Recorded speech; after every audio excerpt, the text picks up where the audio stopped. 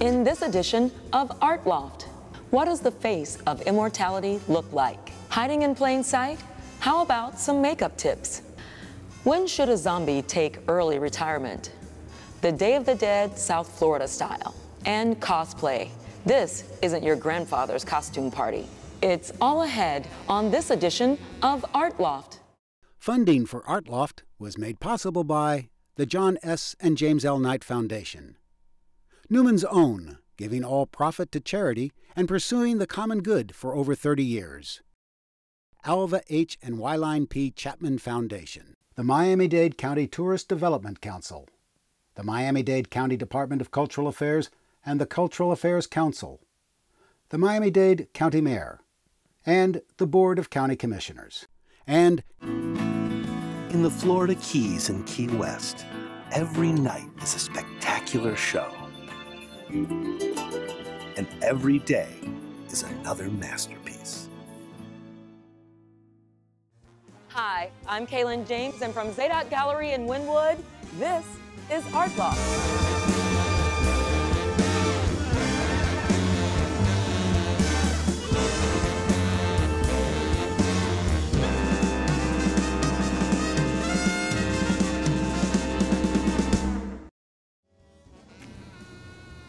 This week, we prepare for Halloween with a taste of the bizarre. From cosplay to cosmetics, we have a little bit of everything. But we kick off tonight's program with some riffs on immortality. From a recent installation at the studios of Key West, artist Keith Bland and poet Maureen Venti presented a unique pairing of portrait and poetry centered on the theme of immortality and the question, what does the face of immortality look like? Uh, my name is Keith Bland. I'm an artist, I'm a painter. Um, I studied um, business and was on Wall Street and 23 years ago decided to resign that and pursue my passion, which is painting. It's called Riffs on Immortality and it's portraits of uh, sculpted faces uh, from the Stone Age to the present. That's the official title. And uh, it all started, I went to a, um, an exhibit at the Metropolitan Museum of Art in New York in September of 2011 and it was called Heroic Africans. And these sculptures and the faces, uh, they just jumped, they literally just came out of the glass for me, and I was like, hmm, there's something here. Maureen came on board uh, early, and she wanted, she, she totally sort of grasped the concept that I was looking at, and she began writing poetry based on the concept of immortality. I am a studio artist here at the studios of Key West. I'm a photographer, a poet, and a publisher. I publish books that have um, art and poetry together. Her poems are just, she would lift me, and I think I would lift her, and she wrote a poem based on this one sculpture that I had not even done a portrait of, and then I did a portrait of that. And I think it's one of the best portraits I did. Keith had started on his project, uh, which was a series of portraits. He showed me some of his images, and we got came up with the idea for me to write some poetry to go along with his show. His his objective was to, you know, do a series that would be reflecting on humans' um, kind of struggle to understand immortality, what makes a face immortal, or why someone is immortalized, and um, throughout history, people have been immortalized through art, sculpture, painting, and poetry and music as well. So it seemed kind of a good fit. So I came back and I started doing a few portrait with palette knives, which is very expressive. Uh, we may see a few of those. And then, um, then I walked through the Key West Cemetery about three months later and I'm like, look at these faces, these angels, you know, from the European culture. And so I started realizing the African faces were done to commemorate, immortalize um, heroes, leaders, and these faces are idealized sort of Greek and Roman sculpture to uh, immortalize. And so I started thinking, what does the face of immortality look like? And so then I said, maybe this is something worth looking at. Sometimes Keith would have uh, a painting and it would really inspire me. Like the hornblower, for example, really inspired me write a poem about the hornblower. And then I had written a poem uh, as Keith mentioned about Idia, who was uh, an African uh, queen mother, and she became immortalized because of her strong role in leading her people. And so once I wrote the poem, Keith then wrote, the, um, painted the um, Idia's portrait. She was originally an ivory mask, so the portrait is really stunning, the way he um, created it.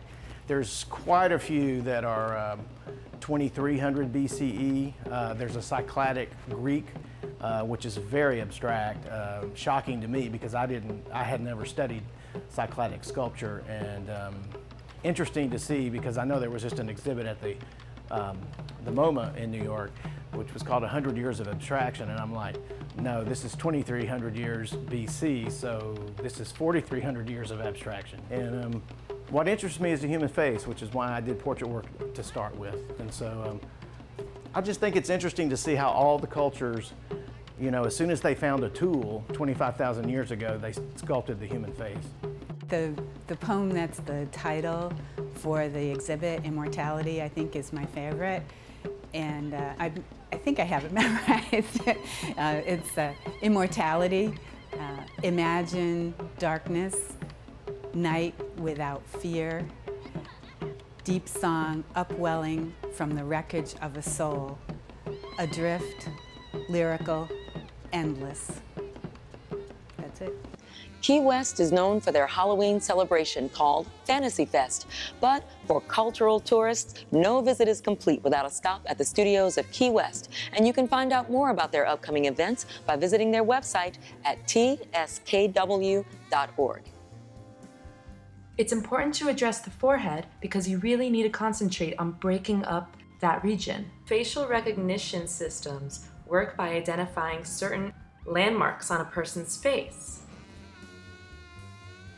For 20 years, the Puppet Network has produced traditional styles of puppet theater for several of South Florida's premier cultural organizations, including the Broward Center for the Performing Arts, Museum of Art Fort Lauderdale, Florida Grand Opera, and Miami Theater Center, to name a few. Jim Hammond heads up the Puppet Network, and his lengthy credits even include work on the hit Broadway musical The Lion King. This next story takes us to Wilton Manors, where Jim and his staff prep for this year's Dia de los Muertos, or Day of the Dead.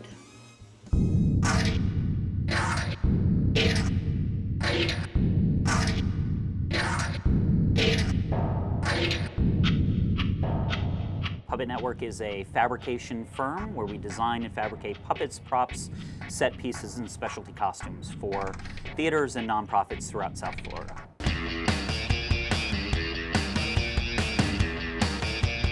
Today's a busy day in the puppet shop. We have almost 30 volunteers coming in to help build puppets, props, and decor elements for our Day of the Dead celebration. We try to make decor all by hand. It's, it's very community based. We really like that handmade feel. We just try to come up with fun projects that anyone can work on. I help building all the puppets that we're going to use for our parade and as well as I help during the workshop days. So I help parents and kids to, let's say, paint masks or decorate them. And at the same time, they will help us to decorate our props for our project.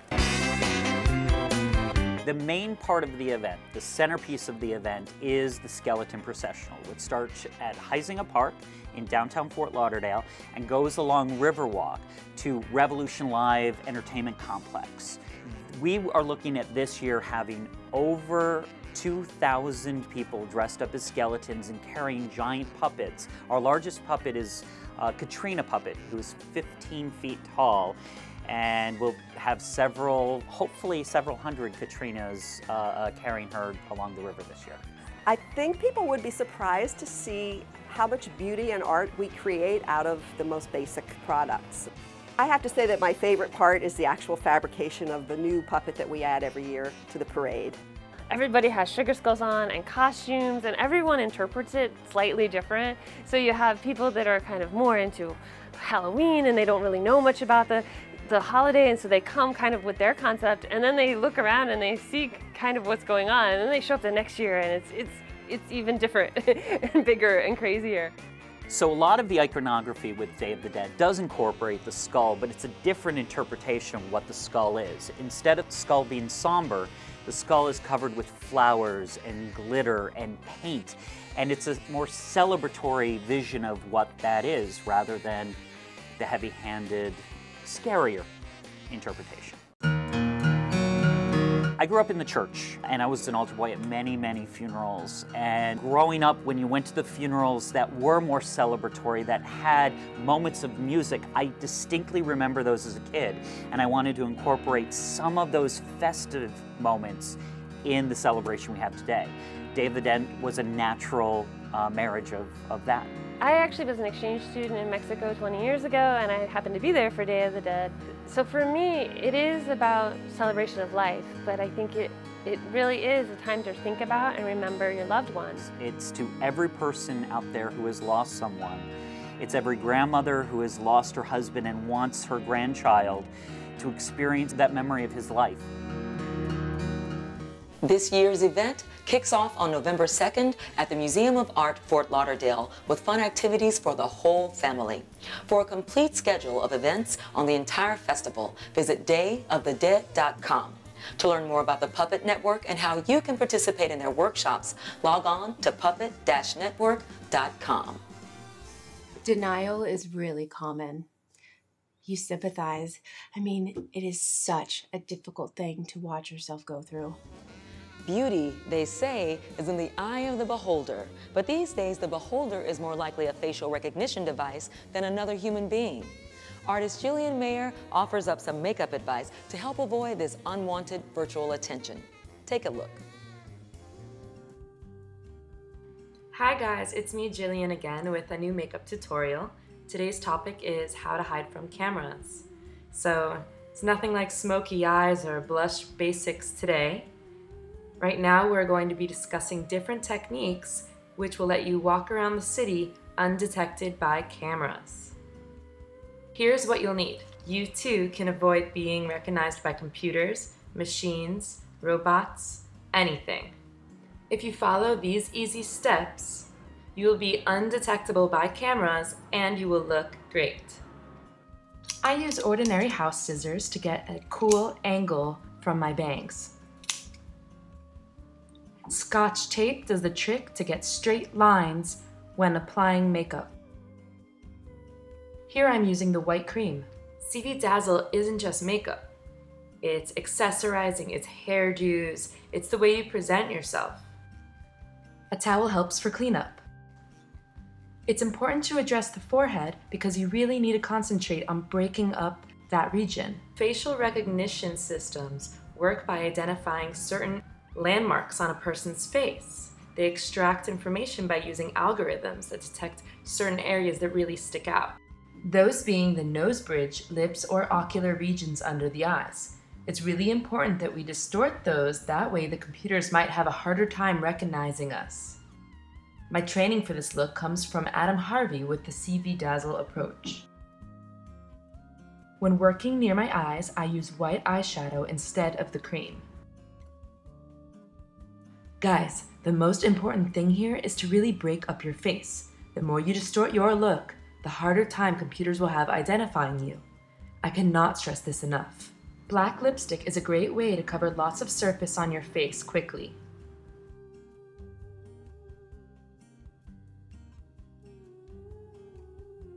Peeling off the tape helps with the straight lines. Creating contrast is easy if you use black eyeliner.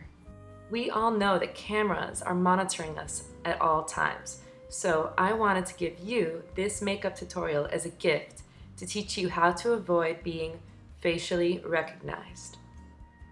This isn't about blending in. This is about sticking out yet remaining undetected by cameras. And guys, I really want you to be creative here. The designs are limitless.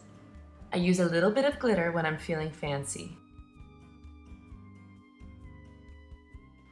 Okay, and there you have it. All you have to do is the last touches, including taking the bobby pin out of your hair, letting your new bangs down, and I recommend grabbing a piece from the back and putting it down in front of your face. Tune in next week and we'll be discussing different ways to hide in public with accessories. I'm going to teach you how to make a hat built with infrared lights and you'll be safe to walk through any street undetected. Makeup advice is clearly a sideline for Jillian. If you'd like to learn more about her artwork and performance pieces, visit her website at jillianmayer.net. There you can see more of her video work as well. It's not just always the costume, sometimes it's how you portray yourself as well that's part of cosplay.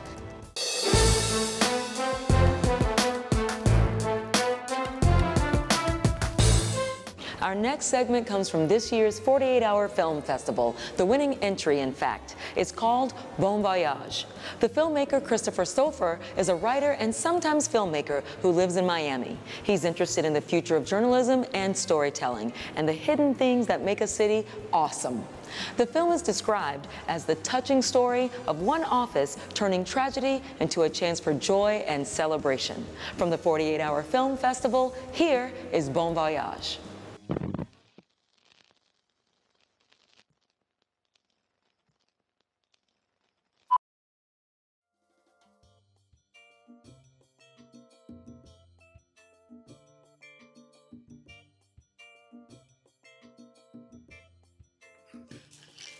I love these things. The cake, the balloons, the music. Ah. I mean, it's kind of sad, you know, but it's great celebrating with the people that you work with. So, I'm not feeling like 100% right now, I would say. Um, I've had some symptoms lately, um, some headaches, some trouble sleeping, uh, some some odd gastroenterological issues. I don't know how much you know about that, but I, I, I do some research on these things, you know. And um, I just, uh, I'm really hungry all the time. That's, I think, the weirdest thing. And um, I went to the doctor, and uh, he had some weird ideas that made me really uncomfortable. So, frankly, I, uh, I changed doctors, and I'm seeing someone else uh, this afternoon and um, I'm looking forward to hearing what, what they have to say. But uh, you know, in the meantime, I have a boat ton of uh, oxycodone and um, and prednisone. I'm doing my research, and uh, I'm feeling I'm feeling much better uh, for the most part. Um, so so thanks thanks for asking. This is That's absurd.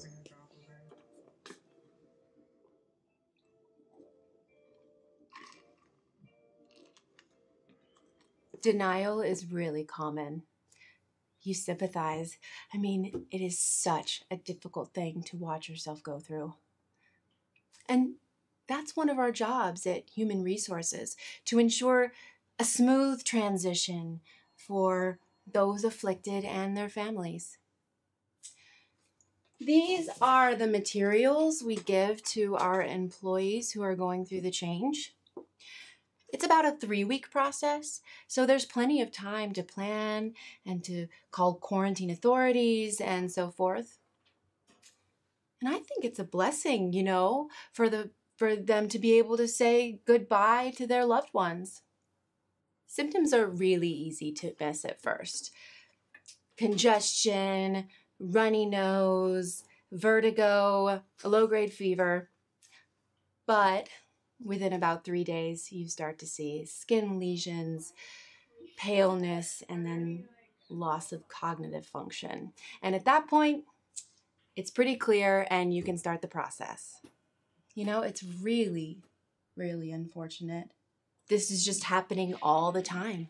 And so we've had to come up with this process to deal with it. But you know what?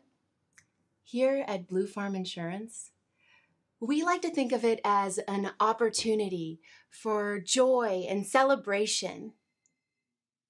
A little fun never hurt anybody. Zombies do. I don't know. What kind of cake are they serving? Uh, that Carvel crunchy thing, I think. Oh, Hey, did you get red balloons? I said no red balloons. It might set him off.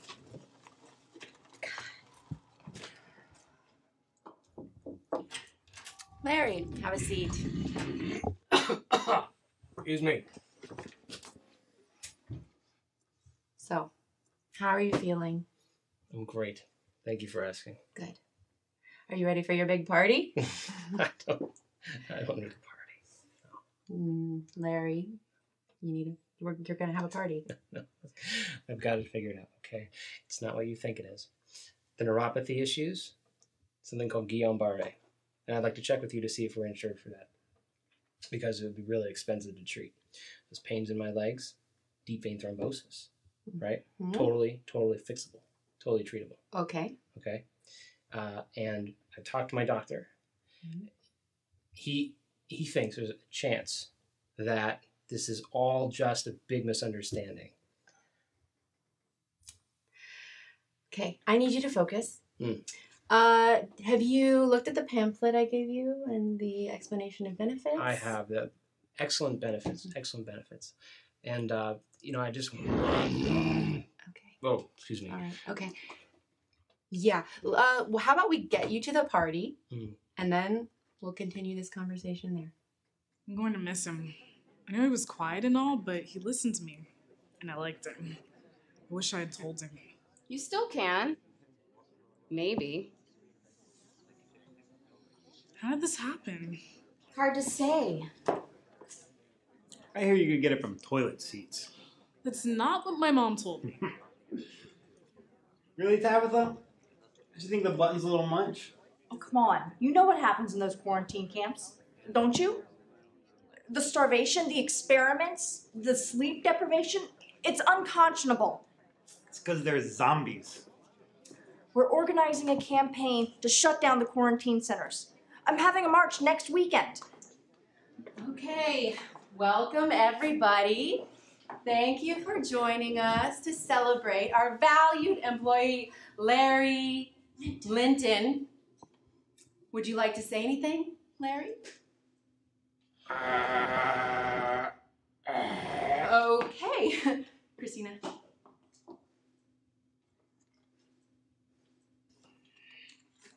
Oh. Hey, Larry, bon voyage.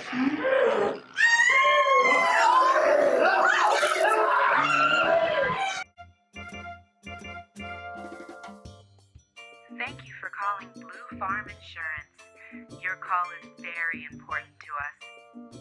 All representatives are currently occupied.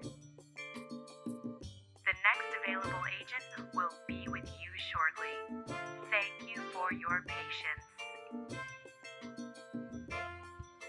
If you'd like to find out more about the 48 Hour Film Festival, you can visit them online at 48hourfilm.com, where you can find information about the 2013 competition and keep an eye out for information on 2014. And don't forget, on Halloween night, we'll have a special Halloween episode of Art Loft featuring six of the films from the 2013 48 Hour Film Competition. That's this Thursday night at 10 p.m. or visit the WPBT2.org website for additional broadcast information. And here's a quick treat from Art Loft. Hollywood has taught us to fear the shark as a legendary terror of the deep. But marine biologist, wildlife artist, conservationist, and filmmaker Guy Harvey has a different view of the shark.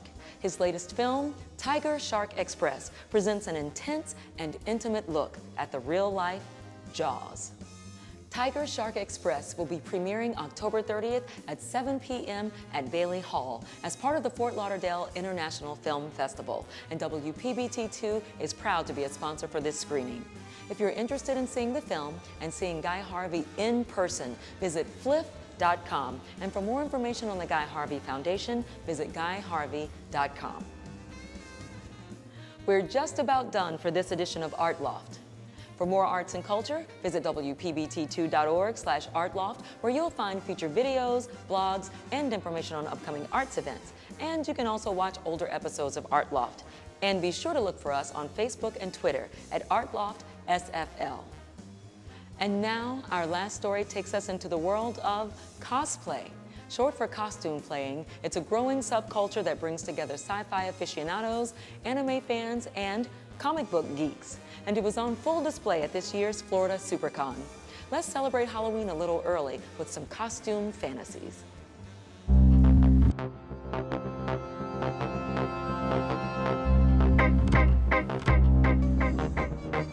Uh, cosplayer is short for costume play. It's creating and modeling costumes from video game, anime, pop culture, things like that, and displaying them on places like SuperCon. I create and wear all my own costumes. I've been doing this about four years, and I do about 15 shows a year. So it's it's definitely getting close to almost 100 shows I've been at now. Everyone is so welcoming here. You can walk up to anyone and just start talking about their character or just say hello, and everyone is the friendliest person here. And I think that's what really drew me with the cosplay community. It's not like regular modeling where, you know, everyone's kind of catty and stuff like that. Everyone here just wants to talk about how they created everything or about their favorite comic. Just talk to a lot of the cosplayers see around. Everyone will tell you how you can make everything and how to get involved in the community and things. And a lot of it, it's just, it's hardcore Halloween.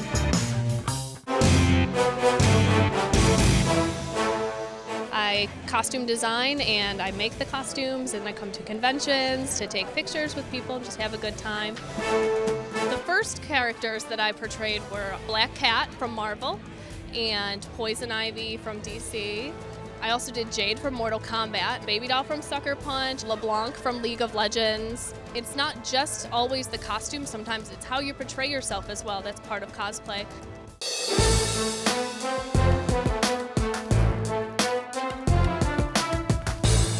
I think I'm a little bit backwards from most cosplayers. Most cosplayers know what cosplay is before they start cosplaying. For me, it was like I was taking clothes and certain things and manipulating them to look like characters, not really realizing that other people did this. Um, so when I did find out that cosplay was actually a thing, I think I, I felt a little less weird about what I was doing. So that's kind of how it started. I am wearing Saeko from High School the Dead, and it's based on an anime about these high school students and a zombie apocalypse is happening. So my character is like a zombie killer, and it's a really interesting series. I really like my Shido Mana costume because it has a lot of armor. It's the most expensive. It probably took the longest. I do a variety of things. Sometimes I do stage performances. Sometimes I put on skits. Sometimes I just do a walk-on. I do photo shoots. Sometimes I interact with other people and you know post for pictures and then people know that you're a fan of the fan base so people can come up to you and be like oh high school of the dead and, and that's how you can kind of it's an icebreaker to kind of start a conversation